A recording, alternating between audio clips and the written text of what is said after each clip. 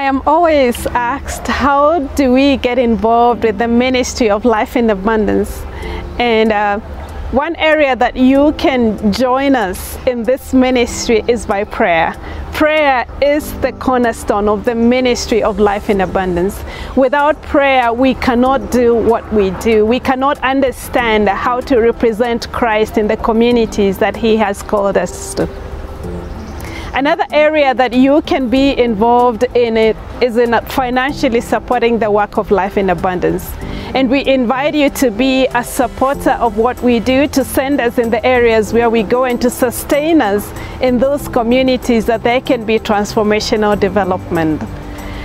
You can also be involved in sharing the work of life in abundance in your own community. And there are many ways that we can equip you to tell others and to engage others to be part of what we do. For more information on how you can get involved in the work of life in abundance, please visit our website at lifeinabundance.org and click the Get Involved section.